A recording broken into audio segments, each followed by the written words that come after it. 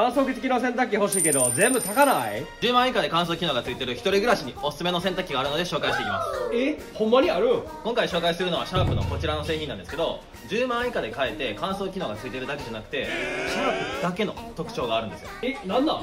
他の洗濯機って洗濯槽に穴があるんですけどこの洗濯機は穴なし層になってるんです。それ何がいい？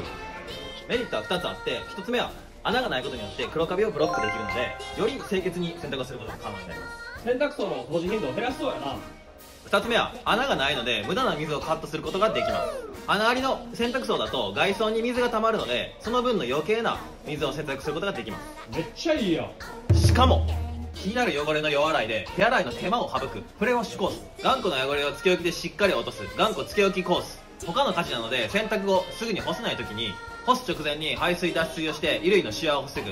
ちょっと待って脱水コース。と洗濯におけるいろんなニーズを満たす機能がついてるんです。これで10万以下ってやばない？